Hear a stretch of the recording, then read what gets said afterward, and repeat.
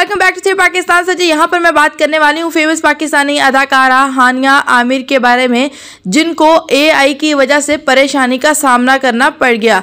हुआ कुछ यूँ है कि हानिया आमिर की कुछ वीडियोस आजकल सोशल मीडिया पर बहुत ही ज़्यादा वायरल जा रही थी। वीडियोस यहाँ पर मैं आप लोगों से शेयर कर रही हूँ कि हानिया आमिर की ड्रेसिंग बहुत ही ज़्यादा नाजेबा थी, जिसकी वजह से हानिया आमिर के फैंस भी बरहम हो गए। लेकिन अब सोशल मीडिया प्लेटफॉर्म इंस्टाग्राम पर हानिया आमिर ने एक पोस्ट शेयर की और उन्होंने बताया कि ये तमाम वीडियोज़ मेरी नहीं है, ये AI जनरेटेड वीडियोज़ है। इसके अलावा उन्होंने इन वीडियोज़ के बारे में क्लैरिफिकेशन भी दी है कि ये उनकी वीडियोज़ नहीं है और साथ ही उन्होंने उस लड़की का अकाउंट भी मेंशन किया है, जिनकी ये वीडियोस हैं। एक्चुअल में जिनकी ये ड्रेसिंग है, लेकिन एआई के ज़रिए हानिया आमिर की वीडियोस जो हैं वो जनरेट की गई हैं। उस लड़की की बॉडी पर हानिया आमिर का फेस फिट किया गया है। हानिया आमिर का कहना यह है कि उनकी इन वीडियोज़ को लगाकर बहुत सारे फेक अकाउंट्स बनाए गए हैं। इसके अलावा हानिया अमन ने अपने फैंस से रिक्वेस्ट भी की है कि इन अकाउंट्स को रिपोर्ट करें ताकि ये अकाउंट जो है वो बंद हों बैन हों ये अकाउंट तो जी, ये थी आज की वीडियो वीडियो आपको कैसी लगी? कॉमेंट करके ज़रूर बताइएगा। न्यू है तो चैनल को सब्सक्राइब करना बिल्कुल मत भूलिएगा।